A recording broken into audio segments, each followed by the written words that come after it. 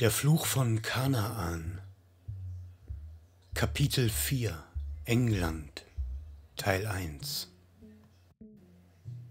Wenn du schon ein längerer Zuschauer meiner Beiträge bist, dann erinnerst du dich vielleicht an den Beitrag Der sinistre Armentrick, zu wem man seine Gebete womöglich tatsächlich richtet, wenn man sie mit Amen abschließt. Ich führte eben jenes Amen zurück auf Amun, Ammon, den Dämonen Mammon, Aton, der Sonnenkult und Echnaton, der Hybridbastard Pharao. Der Aufschrei war damals groß.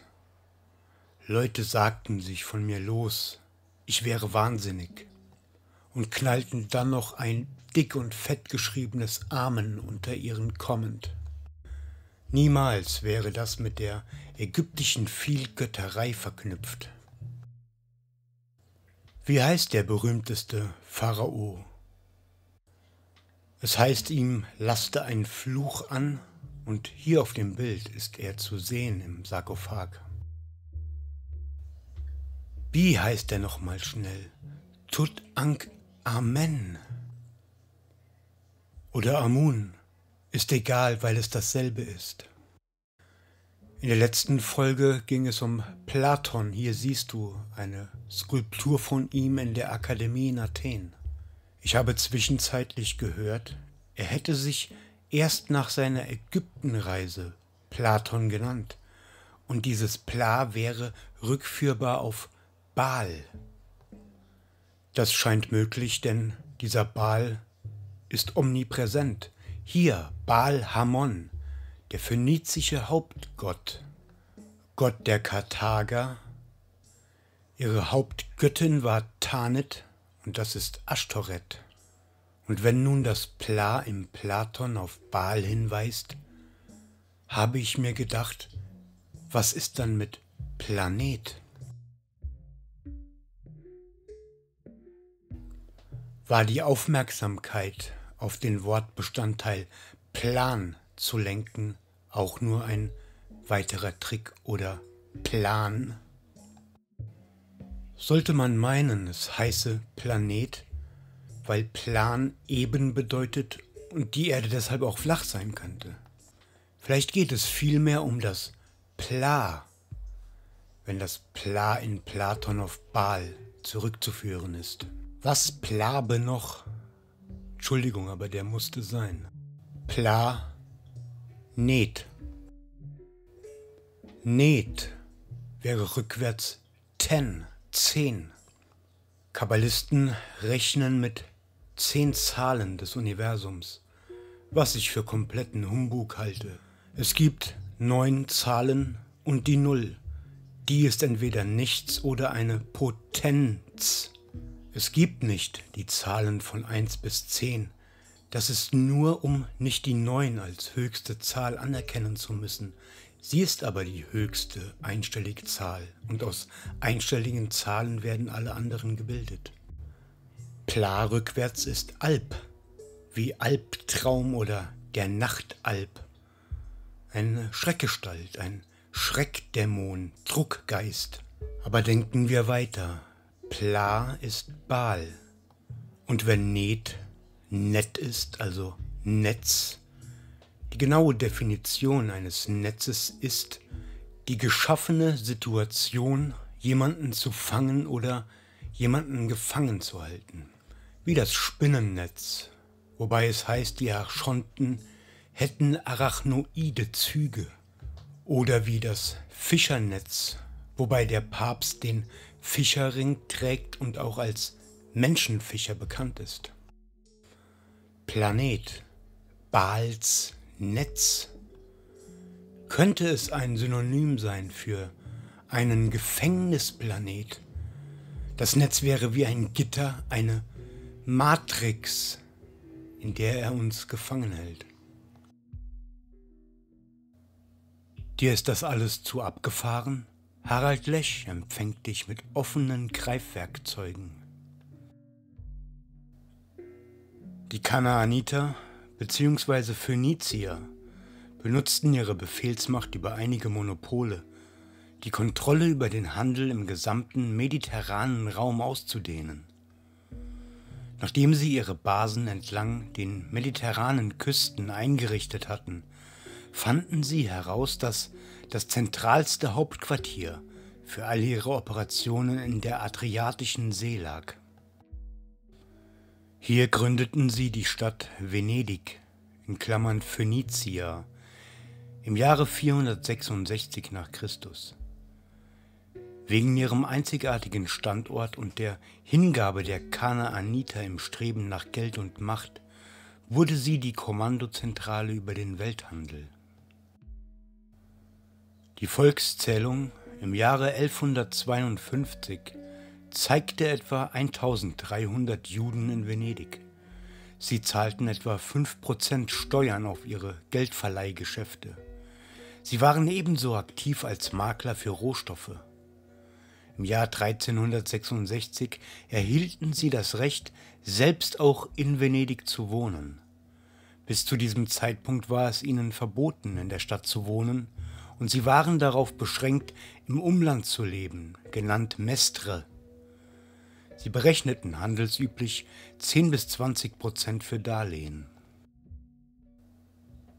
Aufgrund Venedigs großer kommerzieller Möglichkeiten strömten sie aus allen Teilen der Welt herbei.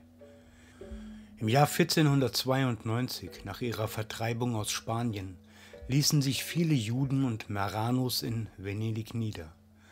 Die Kolonie wurde dann in drei Gruppen geteilt. In die Deutschen, bekannt als Tudeschi, die Levantiner von Levante und die Pontanini bzw. Abendländer. Im Jahr 1797 öffnete die französische Okkupation die Tore vom Ghetto. Napoleon erlangte seine Macht und gründete sein italienisches Königreich zwischen 1805 und 1814 was ihm weitere Rechte einbrachte. Während der Revolution von 1848 berichtete Castein in seiner Geschichte der Juden in Klammern History of the Jews, dass das revolutionäre Venedig von Daniel Manini und zwei anderen Juden regiert wurde. Die Venezier waren immer bekannt als Meister der Intrigen. Sie unterstützten die Türken in ihrer Eroberung von Konstantinopel im Jahre 1453, was die 1200 Jahre andauernde Regentschaft der byzantinischen Kaiser beendete. Die Türken waren schockiert über die Habgier der Venezier, die eine Menge des legendären Kunstschatzes der Stadt hinfortschafften, Gold und Juwelen.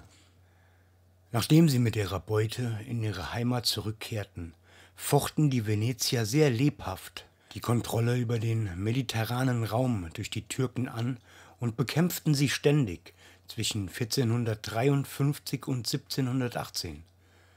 Venedig ist nun zu einem Hauptquartier einer skrupellosen, sozial aufsteigenden Bande von Unternehmern geworden, die sich selbst Titel erkauften oder aus dünner Luft erschufen, sich prachtvolle Landsitze errichteten und die Kunstschätze Europas kontrollierten. Sie finanzierten ihren neuen Lebensstil mit enormen Summen, die sie aus Handel, Piraterie und Geldverleih erwirtschafteten. Seit dem Jahr 1171 wurde die Gruppe in ganz Europa bekannt als die schwarze Nobilität, da sie aus kanaanitischen Wurzeln stammen, im Gegensatz zur hellhäutigen Nobilität des Volkes von Shem. Die schwarze Nobilität infiltrierte allmählich die europäischen Adelsfamilien. Heute machen sie die meisten überlebenden europäischen Königshäuser aus.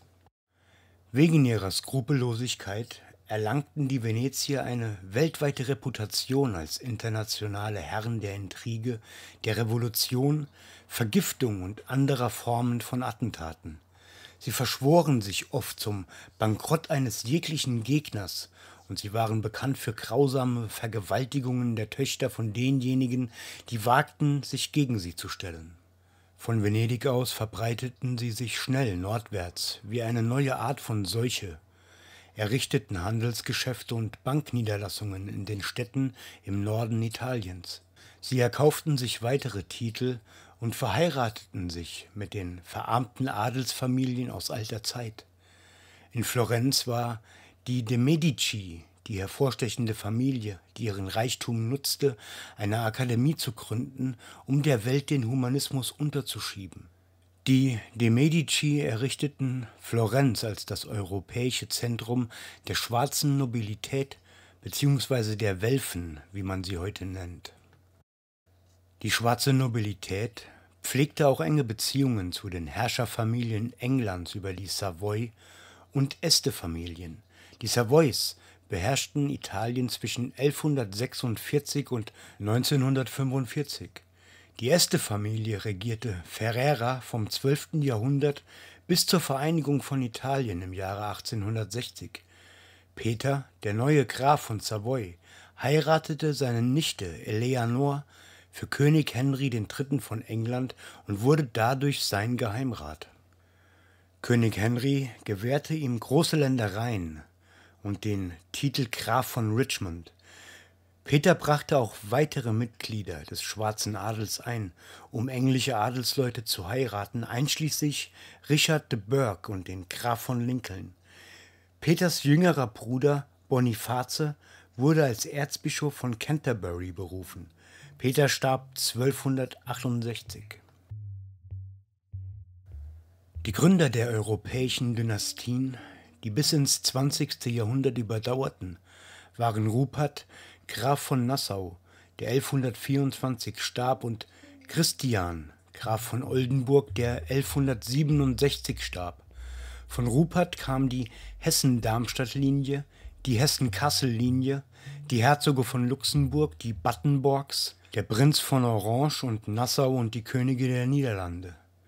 Von Christian kamen die Könige von Dänemark und Norwegen, die Schleswig-Holstein-Linie und die Hannovers, die Könige von Großbritannien seit 1717 bis in die Gegenwart.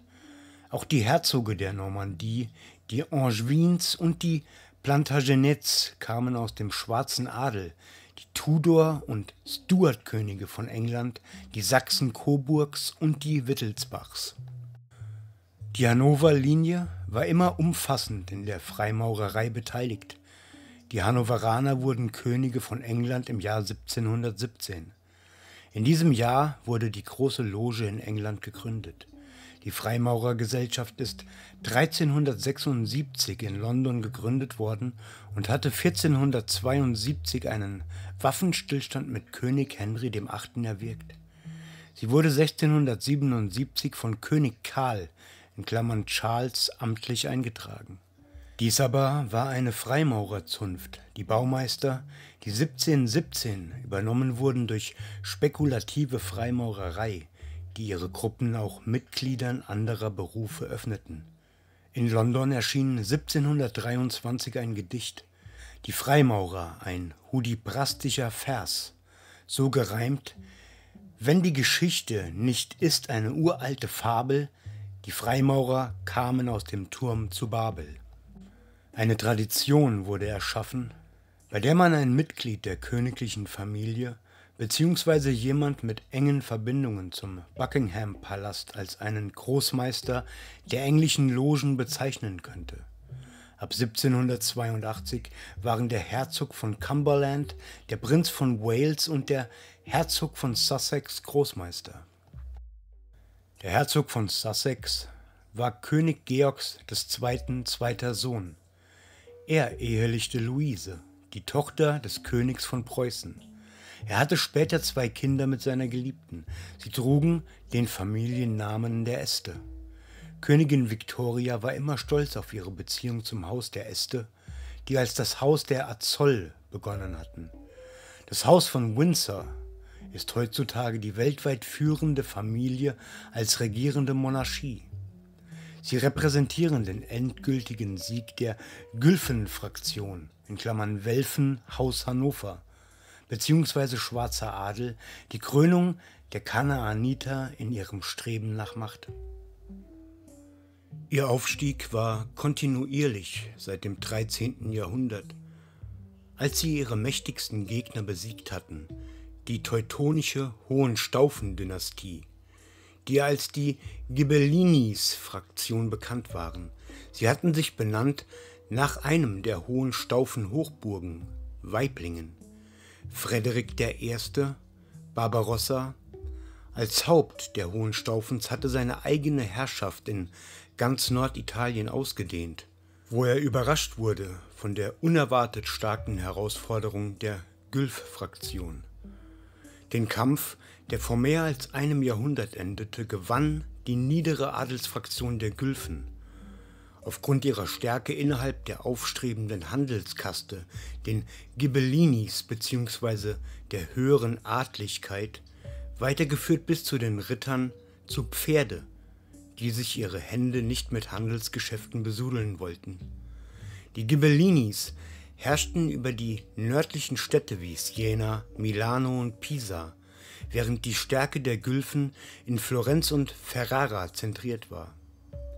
Otto IV. von den Gülfen trug seinen Kampf aus gegen Philipp von Schwaben, einem hohen Staufen, aber die hohen Staufen waren zahlenmäßig unterlegen zu der Kraft der Liga der rheinischen Städte, einer Handelsallianz, die in der Lage war, große Summen herbeizuschaffen, um die Kondottieri auszustatten. Doch zum Ende des 15. Jahrhunderts triumphierten die Gülfen. Alfonso I. von Este heiratete Lucrezia Borgia. Seine Schwester Marie von Modena heiratete James II. von England und brachte die Este-Linie damit in die englische Herrscherfamilie. Die Ghibellinis bevorzugten eine zentrale Herrschaft und Imperialmacht, während sich die Gülfs für zentralisierte Macht und Menschenrechte einsetzte, eine Losung, die später ihre Parole wurde für ihr Streben nach Macht. Im 20. Jahrhundert waren die überlebenden Erben der Gülfen und Ghibellinis in zwei Weltkriegen gegeneinander aufgestellt.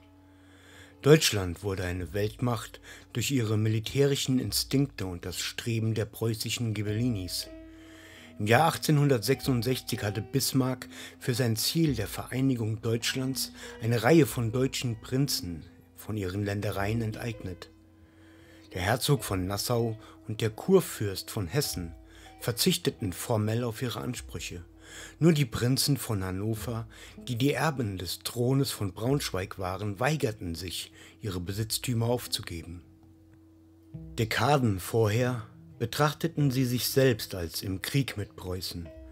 Tatsächlich aber fanden die zwei Weltkriege statt, unter anderem aufgrund der fortschreitenden Missgunst der herrschenden Familie von England gegen die Herrschaft von Deutschland. Es ist ein interessanter Punkt, dass die siegreichen Hannoveraner dafür sorgten, dass das besiegte Deutschland nach dem Zweiten Weltkrieg in zwei kleine militärische Besatzungsländer aufgeteilt wurde, die letzte Rache der Sieger. Der Calvinismus mit seinem starken Einfluss während des 16. Jahrhunderts in England konzentrierte sich auf die wachsende Macht, auf die Welthandelsflotte und die schwarze Nobilität, deren Hauptinteresse im Geld lag. Im Gegensatz zu früheren religiösen Institutionen, die einen großen Schwerpunkt auf Verknappung und Gelübde der Armut gelegt hatte, beanspruchten die neuen religiösen Lehren die Erhebung von Zinsen auf Darlehen und die Anhäufung von Werten, was der neue Weg war, das Werk des Herrn zu verrichten. Es war eine willkommene Offenbarung für die aufstrebende Händlerklasse, dass Gott wahrlich wollte, dass sie reich werden. Enrichissez-vous, in Klammern sinngemäß, bereichere sie, wurde der neue Schlachtruf, der über ganz Europa schwappte, als die Kanaaniter große Handelsimperien gründeten. Der Verkünder dieser neuen göttlichen Offenbarung war ein Jean Coin von Noyon, Frankreich. Er wurde ausgebildet im Collège von Montagu, wo Loyola, Begründer der Jesuitensekte, studiert hatte. Coin zog später nach Paris, wo er zwischen 1531 und 32 seine Studien über die Humanisten weiterführte. Während seines Aufenthaltes in Paris war er bekannt als Coin. Später zog er nach Genf, wo er seine Philosophie als Calvinismus formulierte. In Genf, zuerst bekannt als Cohen, anglizierte er seinen Namen zu John Calvin. Diese religiöse Bewegung basierte auf eine wörtliche jüdische Interpretation der zehn Gebote, der Philosophie des Alten Testaments und des Verbotes von Götzenbildern. Die frühen Disziplinen des Calvinismus waren bekannt als christliche Hebräer. Die Ankunft des Calvinismus machte die große Expansion der Juden möglich in weitere Wege des europäischen Handels neben dem Geldverleih. Für diese Verwirklichung honorierte die Enzyklopädie Calvin mit der Bemerkung Calvin segnete die Juden. Rückblickend kann Calvin gesehen werden als lediglich eine weitere kanaanitische Strömung, die periodisch über Europa schwappen, die revolutionäre Verschwörungen kreieren, die dann in andere Länder exportiert werden. Es ist kein Zufall, dass durch das Erscheinen von Calvin die Schweiz zu einem Bankenzentrum der Welt wurde, beziehungsweise dass die schrittweisen revolutionären Umstürze in der Schweiz ausgebrütet und durch sie finanziert wurden. Gerade Lenin fand einen Hafen in der Schweiz während seiner mühseligen Jahre der Arbeit an Methoden, die ihm ermöglichen sollten, Russland der Romanow-Familie zu entreißen, die über die Nation seit 1000 Jahren herrschte. Der Willkommensaufruf des Calvinismus, mehr Geld anzuhäufen, war von vornherein ausgeglichen durch die Tatsache, dass es eingeführt wurde als ein brutales, tyrannisches System, das auf einer Grundlage des orientalischen Despotismus basierte, entgegen der Aufdeckung seines kanaanitischen Ursprungs. Das Volk von Shem glaubte nie an die Ermächtigung von irgendwem, um irgendwas zu tun. Dies ist die Basis ihres Rechts. Sie glauben, dass es eine Sache des natürlichen Instinkts ist, dass Menschen immer das Richtige tun wollen. Die Kanaaniter andererseits im immerwährenden Bewusstsein des Fluches auf ihren Menschen und Gottes Anweisung an die Kinder von Israel, jene zu töten, begreifen, dass ihr Überleben abhängt vom Umsetzen brutalster Maßnahmen. Der Calvinismus blieb dem treu. Im November 1541 gab Calvin seine kirchlichen Verordnungen heraus, ein Werk von Anweisungen, das allen Bürgern absolute Disziplin auferlegte. Calvins Verordnungen verhängten die Todesstrafe gegen jeden Gegner. Sein Hauptkritiker, Jacques Crouet, wurde wegen Blasphemie enthauptet. Ein weiterer Gegner, Michael Servetus, wurde auf dem Scheiterhaufen verbrannt. Andere Kritiker wurden gefoltert und enthauptet. Calvin befürwortete die Hexenverbrennung und die rücksichtslose Durchsetzung seiner Verordnungen, was den tyrannischsten und automatischsten Gottesstaat in Europa erschuf. Die Einführung des Calvinismus in England war ausgerichtet, einen Keil zwischen Kirche und Staat zu treiben. Die traditionelle Kirche in England hatte als ihr Titeloberhaupt den König. Die spaltende Propaganda des Calvinismus führte zum Triumph von Cromwell und der Verdrängung der Könige der Stuart-Linie durch das Haus von Orange-Nassau. Der erste Beweis für diese Säuberung war König Charles I., der durch seine Verschwörer enthauptet wurde. Die Einzelheiten dieses Komplotts wurden Jahrhunderte später veröffentlicht in der Publikation von Lord Alfred Douglas Plain English im September 1921. L.D. van Walcott kam in den Besitz der vermissten Bände der Aufzeichnungen der Synagoge von Mülheim, vermisst seit dem Napoleonischen Krieg, die in Deutsch verfasst waren. Diese Aufzeichnungen haben den Eintrag 6. Juni 1647 von O.C. an Ebenezer Pratt als Gegenleistung für die Finanzhilfe wird die Aufnahme der Juden in England fürgesprochen, was jedoch in Charles Lebenszeit unmöglich war. Charles kann nicht ohne Prozess hingerichtet werden. Ausreichende Gründe dafür existieren derzeit nicht. Daher rate ich dazu, Charles zu ermorden, will aber nichts mit der Beschaffung des Attentäters zu tun haben, bin aber bereit, bei seiner Flucht zu helfen. Die Antwort kam von Pratt am 12. Juli 1647. werde finanzielle Hilfe gewähren, sobald Charles beseitigt ist und die Juden zugelassen. Ermordung ist zu gefährlich. Charles sollte eine Möglichkeit zur Flucht erhalten. Seine Wiederergreifung könnte dann einen Prozess und die Hinrichtung ermöglichen. Die Unterstützung wird großzügig sein, doch nutzlos die Bedingungen zu besprechen vor Prozessbeginn. Lord Alfred Douglas wurde daraufhin inhaftiert wegen einer Beleidigung von Winston Churchill in seiner Zeitung, eine Heldentat, die die vernünftigsten Menschen wohl für unmöglich halten würden. Der Anschlag erfolgte, wie von Pratt beschrieben, am 12. November 1647 gelang König Charles die Flucht. Er wurde wieder eingefangen und erhielt seinen nachfolgenden Prozess. Das Haus tagte die ganze Nacht am 5. Dezember 1648, letztendlich darin übereinstimmend, dass Charles einen Vergleich aushandeln könnte zu Bedingungen, die sie vorgaben. Dies resultierte in der berühmten Säuberung von Pride in Klammern (Pride's Purge). Cromwell, wütend darüber, dass das Haus nicht auf die Verurteilung zur Hinrichtung eingegangen war, entließ alle die Mitglieder, die ein Abkommen mit Charles favorisierten. Die verbliebenen 50 Mitglieder wurden bekannt als das Rumpfparlament. Sie eroberten sich absolute Macht Sie riefen danach am 9. Januar 1649 einen obersten Gerichtshof aus. Er setzte sich aus Levelern aus Cromwells Armee zusammen. Manasseh, Ben Israels Agent in England, Isaac Dorislaus, entwarf die Anklageschrift gegen König Charles. Manasseh Ben Israel, der die Mittel von Amsterdam für Cromwells Revolution weitergeleitet hatte, wurde in der Encyclopaedia Judaica als Cromwells englischer Geheimdienstler betitelt. Am 30. Januar 1657 wurde König Charles in Whitehall enthauptet. Cromwell lebte nicht lange genug, um seinen Triumph zu feiern. Er starb 1661, was König Charles II. ermöglichte, den Thron zu besteigen. Viele von Cromwells treuesten Revolutionären flohen in die amerikanischen Kolonien, wo sie seitdem einen bösartigen Einfluss praktizieren.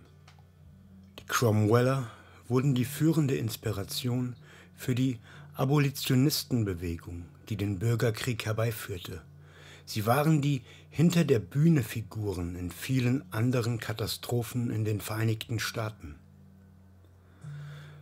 Weil nun Charles II. auf dem Thron von England saß, leiteten die Amsterdamer Bankiers im Jahr 1674 eine große Finanzdepression in England ein. Die Unruhen aus dieser Entwicklung heraus pflasterten den Weg für das Haus von Nassau, den Thron von England an sich zu reißen. England handelte im Jahre 1677 einen Frieden mit seinem Feind Holland aus. Als ein Teil dieses Handels heiratete William von Orange Mary, die Tochter des Herzogs von York. Der König James II. wurde, als Charles II. 1685 starb. James war nun das einzige Hindernis, den Thron von England zu übernehmen. Die Amsterdamer Bankiers starteten nun eine frenetische Kampagne, die führenden aristokratischen Verfechter von König James II. zu bestechen. Als erster unterlag der Herzog von Marlborough, John Churchill, Vorfahr von Winston Churchill. Als Oberhaupt der Armee war Marlboroughs Unterstützung wesentlich. Er nahm Bestechungen von etwa 350.000 Pfund von Medina und Machado an. Der nächste war Lord Shrewsbury in Klammern Charles Talbot, der als hoher Angestellter während der Herrschaft von Charles II. und von James II. beschäftigt war. Als sie bemerkten, dass die Strömung sich gewendet hatte, liefen solche Bekanntheiten wie Sidney Godolphin der Herzog von Sunderland und die Herzogin von Portsmouth heimlich zu denen über, die die Thronbesteigung von William von Orange favorisierten. Zwischenzeitlich schien James II. nichtsahnend über den Verrat zu sein, der um ihn herum erschallte. Marlborough unterzeichnete am 10. November 1688 sogar einen erneuten Eid der Treue für James. Am 24. November trat er der Gruppe um William von Orange bei. Mitsegelnder in der Invasionsarmee von William war Lord Polwarth, dessen Nachfahre der heutige Lord Polwarth ein Prominenter im Bankwesen und der Industrie in Amerika und England ist. Hans Bentinck, ein Holländer, der William während seiner Pockenerkrankung gepflegt hatte, benannte seinen Sohn William nach dem König. Der Graf von Devonshire stand in geheimer Korrespondenz mit William in Haag.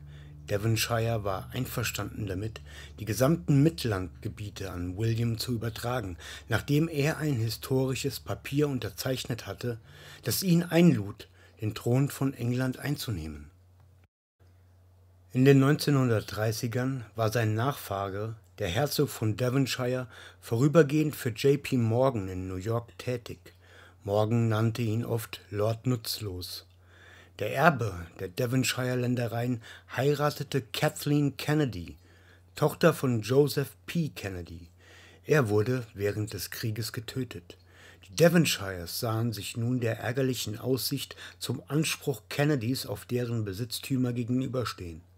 Das Problem wurde gelöst durch einen Flugzeugabsturz, bei dem Kathleen Kennedy getötet wurde, als sie zu einem Champagner-Rendezvous zu ihrem Geliebten flog. Nun war William III., genannt Bentinck, der erste Graf von Portland König von England. Der zweite Herzog heiratete in das Cavendish-Vermögen hinein. Der dritte Herzog wurde Generalgouverneur von Indien und schrieb Geschichte, als er 1829 die Praxis der Witwenverbrennung abschaffte. Diejenigen, die Williams Invasion unterstützten, wurden reichlich belohnt. Sie wurden die reichsten Familien in England seither. Wo wir gerade bei dem Thema Reich sind, möchte ich dir das hier zeigen. Ein Diamant, also reiner Kohlenstoff. Das Element, aus dem jegliches Leben, das wir kennen, besteht. In einer bestimmten Art und Weise angeordnet, bilden diese Atome dann den Diamant. Es gibt die Masseneinheit Karat zur Gewichtsbestimmung von Diamanten. Es heißt, das Wort Karat wäre abgeleitet von Karato, was so viel wie Johannisbrotsamen bedeutet. Also ein Karat hat das Gewicht von einem Johannisbrotsamen. Ich habe dasselbe auch schon von Granatäpfeln gehört, was auch zu Karat passen würde. Ein Karat sind 0,2 Gramm. Es braucht also einen Diamanten von 5 Karat, dass er auch nur ein einziges Gramm wiegt. Der Durchschnittspreis für einen 1-Karat-Diamanten liegt bei 4.000 bis 6.000 Euro. Die allerbesten Qualitäten können je nach Beschaffenheit und Gesamtqualität über 16.000 Euro kosten. Der Durchschnittspreis für 5 Karat, was einem Gramm Diamant entspricht, beläuft sich also auf 20.000 bis 30.000 Euro, wenn man das so hochrechnet. Den Rohdiamant den du hier im Bild die ganze Zeit schon siehst, ist auch bekannt als der Stern von Afrika, der größte jemals gefundene Rohdiamant in Edelsteinqualität mit einem Gewicht von 3106,75 Karat. Er wog 621,35 Gramm. Es kann nur der Maximierung von Gewinn und Habgier zuzusprechen sein, dass man so etwas dann zerteilt in neun große und einige hundert kleinere Diamanten. Hier siehst du die neun größten davon. Und hier siehst du die Krone von Queen Mom. Und direkt mittig unterhalb des Ich denke, es ist ein Spinell, siehst du diesen großen Diamant. Es ist der zweitgrößte von den eben gezeigten neun, die man aus diesem Cullinan Rohdiamant gewonnen hat. Der allergrößte ist im Zepter verbaut. Der hier ist circa 45 Millionen Euro wert. Also nur dieser eine Diamant. Interessant auch die Fleur de Lis, die rings um die Krone verteilt sind und mit Rubinen in der Mitte verziert wurden. Als oberer Abschluss ein Saphir und der Samtstoff in dem Purple Dye der Phönizier, also der violetten Farbe, mit der sie so viel Reichtum anhäufen konnten, spricht für sich. Die erste Tagesordnung war, 1694 die Bank von England zu gründen, eine Mission, bei der sich William bei den Amsterdamer Bankiers rückversichert hatte. Dies führte die Kanaaniter in eine echte Weltmacht. Williams Aufstieg platzierte den Thron von England förmlich in die Linie der schwarzen Nobilität, wo sie seitdem verblieben ist. Lord Shrewsbury wurde einer der ersten Aktionäre in der Bank von England durch eine Investition von 10.000 Pfund. Er prophezeite enthusiastisch, dass die Bank von England nicht nur Finanzgeschäfte betreibt, sie würde ebenso die Lasten des Krieges tragen, eine Vorhersage, deren Wahrheit zu prüfen wäre. Da keine revolutionäre Aktion irgendwelche Finanzen erhalten könnte, nachdem die Bank von England die Kontrolle über die Geldmittel Englands erlangt hatte, fand nie wieder ein Zivilkrieg oder eine Revolution in England statt. Die Cavendish Bentinck-Linie, wie auch andere, die William unterstützten, war immer erfolgreich. Der aktuelle Herzog heiratete eine Mrs. Quigley aus Kentucky und ist ein Direktor einer Rothschild-Firma, Rio Tinto. Während des Zweiten Weltkrieges war er Vorsitzender der Joint Chiefs of Staff in Klammern Geheimdienst in Klammern Vereinter Generalsstab. Die schottischen Lords waren loyal zu James II. Der erste, der seine Knie zu William beugte, war ein Patrick Lyon. Er wurde Herzog von Strathmore die Tochter des 14. Herzog, Elizabeth Bowes Lyon, ist heute die Queen Mom von England. William III. hatte bald eine wunderschöne Geliebte, Elizabeth Villiers. Er hatte auch lange Zeit eine Liebesaffäre mit einem hübschen jungen Adelsmann, Arnold van Keppel, den er zum Herzog von Albemarle machte. Als William III. starb, wurden nach seinem speziellen Willen zwei Personen betitelt, der Herzog von Portland und der Herzog von Albemarle. Beide erhielten Hinterlassenschaften aus Land und Juwelen. Die Kanaaniter stellten sicher, jene gut zu belohnen, die ihnen wohlgesonnen waren. Typisch dafür war die Karriere von John Buchan, der Susan Grosvenor heiratete. Die Grosvenors, in Klammern Herzog von Westminster, waren die reichste Familie in England, besaßen etwa 600 Hektar der besten Londoner Grundstücke. Nach drei Jahren war Buchan privater Sekretär von Lord Alfred Milner während Milners Förderung des Burenkrieges. Milner stiftete auch runde Tische in Klammern aktuell den Council on Foreign Relations. Buchan wurde ein weit bekannter Romanautor und trug den Namen Generalgouverneur von Kanada. Er erhielt den Titel Lord Twitsmoor.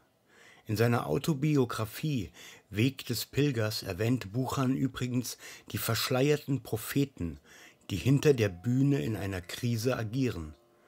Er gab keine weitere Identifikation preis. Er schrieb weiter, ich träumte von einer weltweiten Bruderschaft mit dem Hintergrund einer allgemeinen Rasse und Überzeugung, sich der Sache des Friedens zu widmen. In dieser scheinbar unverfänglichen Fantasie zitierte er wirklich seine Hingabe zu der weltweiten Kanaaniter-Verschwörung mit seinem Pseudoprogramm Die Rechte des Menschen, Weltbruderschaft und Weltfrieden, das heißt in Wirklichkeit eine Bildfläche für eine universale Tyrannei, auferlegt durch die kanaanitischen Despoten. Die Bank von England wurde gegründet als das Ergebnis aus Königsmord und internationaler Verschwörung mit erfolgreicher Übernahme des Throns von England. Trotzdem schrieb Buchan in seiner Autobiografie, ich hatte lange die Ansicht Lord Roseberys von ihm, in Klammern Oliver Cromwell, geteilt, er sei der größte Engländer. Lord Rosebery wurde der erste der englischen Aristokraten, die in die Rothschild-Familie einheirateten. Es wurde erwartet, dass er die Erinnerung an Englands einzigen Königsmord ehrt. Die Rothschilds nutzten das europäische Netzwerk der Illuminati als ihr Übertragungsband für schnelle Übernahmen der kontinentalen Finanzstruktur. Sie verwendeten eine Reihe von Kriegslisten, von denen einige durch Guy de Rothschild in seinem Buch Whims of Fortune in Klammern Launen des Glücks enthüllt wurden. Die Korrespondenz der Rothschilds wurde immer in Hebräisch geschrieben. Sie wurde nie unterzeichnet, so dass niemand behaupten konnte, eine der Signaturen von einem der fünf Brüder wäre eine Fälschung. Er berichtete, Erst nach dem Ersten Weltkrieg benötigte die französische Regierung geliehene Dollars. Sie kontaktierten das Haus von Morgan, der bevorzugt mit den Rothschilds verhandelte als mit einer Regierung. Dies war ein Stückchen Schadenfreude in dem Teil von Rothschild. Er wusste, dass das berühmte Haus der Morgans nichts weiter war als ein Anhängsel des Rothschild-Netzwerkes. Es war instruiert, mit dem Haus der Rothschilds zu handeln. Er schrieb weiter. Meine Familie war immer einer der großen Aktienhalter des britischen Rio Tinto. Traditionell war die Hälfte des Kapitals französisch. Ein Kennzeichen, das die Rothschilds auf dieser Welt hinterlassen haben, war das traditionelle rote Schild der Heilsarmee. Im 19. Jahrhundert begann Baron Rothschild, beträchtliche Summen an General Booth in London zu spenden, immer durch einen verdeckten Repräsentanten – eines Tages kam er herein und verkündete, dass er der mysteriöse Wohltäter sei. Er gab bekannt, dass er seine Spenden weiterführen wird unter einer Bedingung. Die Heilsarmee könnte mehr Aufmerksamkeit auf sich ziehen, wenn sie ein unverwechselbares Logo annehmen würden. Was schlagen Sie vor? fragte General Booth. Ich denke, ein rotes Schild wäre sinnvoll, oder? sagte Baron Rothschild. Die Heilsarmee trägt dieses Schild auf der ganzen Welt. Eine der Hauptagenturen des Kanaaniter-Netzwerkes ist der Rhodes Trust, der junge Männer seit fast einem Jahrhundert ausgebildet hat in den Prinzipien des Kanaaniter-Programms für die Weltmacht. Cecil Rhodes war der Vertreter der Rothschilds, als er deren Kontrolle über die enormen Diamanten- und Goldreserven von Südafrika sicherstellte. Sie haben noch immer Kontrolle darüber, über De Beers in Klammern Diamanten und ein angloamerikanisches Unternehmen, Gold. Rhodes hatte selbst beträchtliche Besitztümer. Als er starb, tauchte Lord Nathan Rothschild 1891 als sein alleiniger Treuhänder auf. Diese Kontrolle wurde später erweitert durch weitere neue Mitglieder des Rates der Auserwählten. R. H. Brand von Lazare Frère Sir Alfred Bate, weitere der Randmillionäre, der Graf von Rosebery und Sir Alfred Milner. Diese Gruppe stellten nicht nur den Rhodes Trust dar, sie finanzierten später die Königlichen Institute für internationale Angelegenheiten und seine amerikanische Tochtergesellschaft, das Council on Foreign Relations. Nach der Erlangung der Kontrolle über England kehrten die Kanaaniter wieder zu ihren traditionellen Praktiken als Dämonenanbeter zurück. England war bald voll von Kulten, die Hexenkraft darstellen, schwarze Messen und Blutrituale. Der Graf von Pembroke war ein früher Unterstützer von William von Orange und Gründungsunterzeichner für die Bank von England. Die Gräfin von Pembroke wurde zu einer Führerin der neuen Mysterienbräuche mit ihrem Bruder Sir Philip Sidney, der den Mystizismus in die englische Literatur einführte mit der Publikation seiner Feenkönigin, die er seiner Schwester gewidmet hatte. Humphrey, der Herzog von Gloucester, spielte ebenfalls eine wichtige Rolle in den geheimen Bräuchen. Er stammte vom schwarzen Adel ab, von den beiden Bastardsöhnen vom Herzog der Normandie, Richard dem Furchtlosen. Die Gloucester folgten William dem Eroberer nach England. Mystizismus wurde zu einem dominanten Thema in der englischen Literatur dieser Periode. Sir Philip Sidney war stark beeinflusst von Hubert Languet, ein französischer Intellektueller, der öffentlich die Rechte des Menschen unterstützte.